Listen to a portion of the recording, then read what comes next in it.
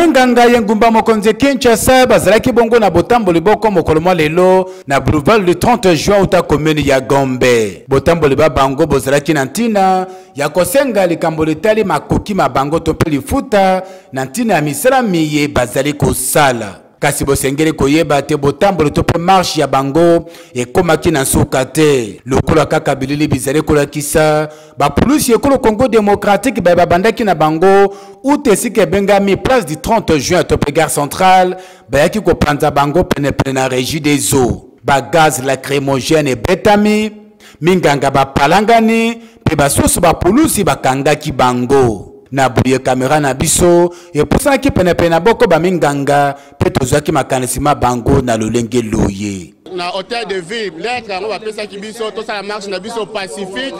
mais tokamwe batindeli biso bapolisie moko misclaire babeti biso babali réel oyo oh, état de droit ya nini oyo oh, état de droit ya ndenge nini oyo oh, il faut babeta biso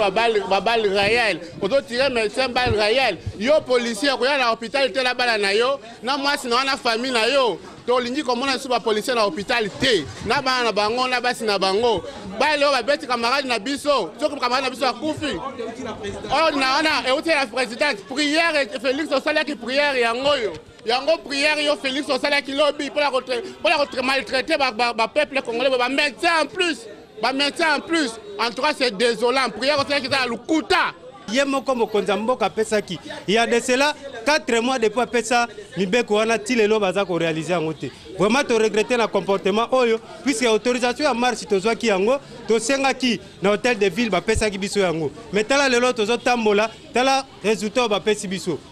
Vraiment to regretter tokosenga na mokonzi ya mboka ye moko akota makambo oyo atala makambo etali oyo makambo oyo etali biso ba médecin tozali non prime tokoki jamais tozala boye tozala traité boye na mboka oyo ya biso moko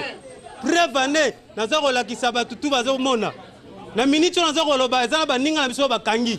oyo bakangi baza kobeta bango lokola bakuluna alors que ce sont des médecins oyo bazosala marche oyo ezali pacifique vraiment toregrete toregrete makasi ya solo makambo masusu maye masalemaka na ekolo congo démocratique makamwisaka bato mpenza kotambola kati na mboka to mpe kosala marche pacifique ekomami kati na mobeko likonzi mwa ekolo kasi tala ndenge bapulusi bazali kotya potopoto na kati